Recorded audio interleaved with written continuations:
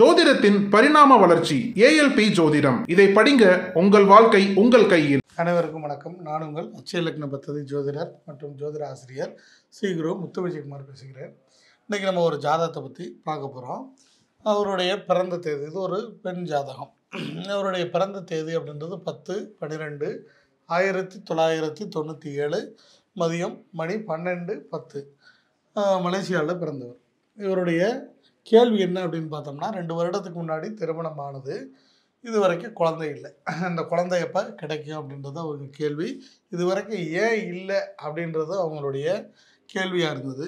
இப்போ அவங்களுடைய பிறப்பு லக்னம் அப்படின்றது இங்கே மகர லக்னம் அப்படின்னு கும்ப லக்னம் அப்படின்றது இந்த இடத்துல இருந்தது. இப்போ அவங்களுடைய வயது முப்பது வயதுக்கு நெருக்கி வர்றதுனால இந்த ஜாதகத்துக்கு மே மேச லக்னம் அப்படின்றது தற்சமயத்தில் அவருடைய ஏஎல்பி லக்னமாக போயிட்டுருக்கு. இதில் பரணி நட்சத்திரம் மூணாம் மாதம் ரெண்டு ஆண்டுக்கு முன்னாடி அப்படின்னு சொன்னாங்க இல்லையா? அப்படி வரும்போது அவங்களுக்கு பரணி நட்சத்திரம் மூணாம் பாதம் லக்ன புள்ளியாக போயிட்டு இருக்கும்போது திருமண நிகழ்வு அப்படின்றது ரெண்டு ஏழுக்கு அதிபதி சுக்கரனே அந்த லக்னத்தை இயக்கக்கூடிய கிரகமாக வந்ததால் இந்த ஜாதகருக்கு பரணி நட்சத்திரம் மூணாம் மாதம் போகும்போது திருமண வாய்ப்பு அப்படின்றது ஏற்பட்டு திருமணம் அப்படின்றது நடந்திருக்கு. ஆனால் அச்சய லக்னத்துக்கு அது பத்தாம் இடத்துல சுக்கரன் இருக்கிறதுனால அந்த ஒரு அழுத்தம் அப்படின்றது அந்த இடத்துல அவங்களுக்கு இருந்துக்கிட்டே இருக்கும் அப்படின்ற மாதிரி சொல்லுவோம்.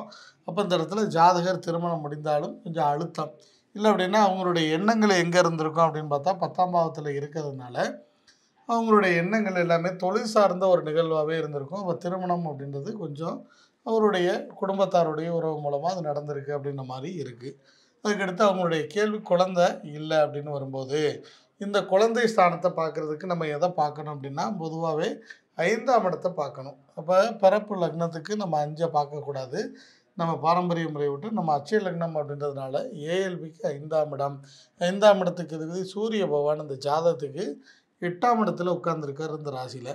அப்போ அஞ்சு எட்டு அப்படின்னா ஒன்று கற்பச்சிதைவு இல்லை அப்படின்னா இந்த கற்பம் தரிக்கிறதுக்கான வாய்ப்பை தள்ளி போடுறது அப்படின்னு அர்த்தம். அதே மாதிரி இந்த இடத்துக்கு அதிபதியான செவ்வாய் அதுக்கு ரெண்டில் போய் உட்காந்துருக்காரு அப்போ இந்த எட்டாம் இடத்துல சூரியன் சம்மந்தப்படுறது ஒரு வாய்ப்பு. அதுக்கடுத்து இப்போ அவருடைய கேள்வி கேட்கும்போது அவருடைய நட்சத்திர புள்ளி என்ன அப்படின்னு பார்த்தா அப்போவும் அதே கார்த்திகை நட்சத்திரம் ஒன்றாம் பாதம் கேள்வி குழந்தைய பற்றி அப்போ ஏற்கனவே சொல்லிட்டோம் அஞ்சு குடையவர் எட்டில் இருக்கார். அப்போ இந்த மேசலக்னம் முடிகிற வரைக்கும் இந்த ஜாதகருக்கு திருமண வாய்ப்பு இல்லை.